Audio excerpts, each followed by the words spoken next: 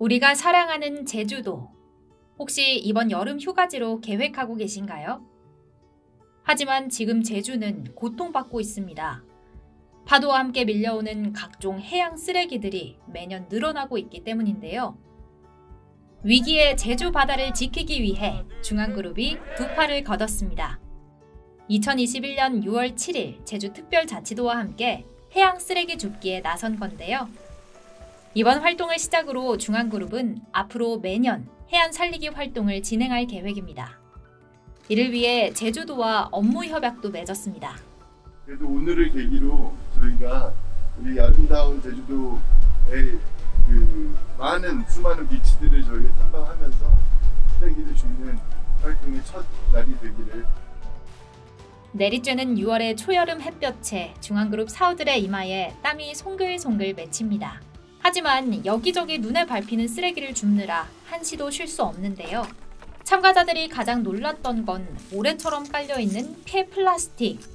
이렇게 작은 플라스틱을 먹이로 착각하고 삼켰다가 죽는 해양 생물이 한 해 10만 마리, 바다새는 한 해 100만 마리나 된다고 하네요. 제주도를 주로 휴가로 많이 왔었는데 이렇게 쓰레기를 주스러 와서 다시 보니까 해변에 이게 이번 한 번이 아니라 주기적으로 와서 청소를 해도 될까 말까 할 정도로 되게 많고 그동안 봤던 거랑 다르게 되게 막 풀이랑 섞여 있어가지고 많은 노력이 필요할 것 같아요.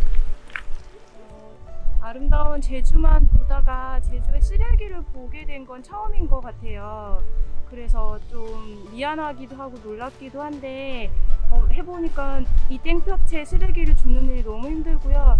주면서 생각한 거는 버리지 않는 게 그냥 답인 것 같습니다. 누군가는 버리고 누군가는 줍는데 버리지만 않으면 주울 일도 없으니까 우리 쓰레기 버리지 맙시다. 올여름 제주를 찾는 여러분도 바다 사랑에 동참하실 수 있습니다.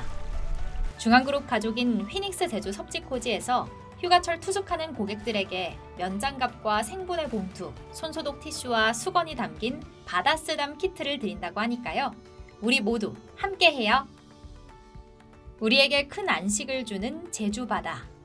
이제는 우리가 그 바다를 쓰담해줄 차례입니다.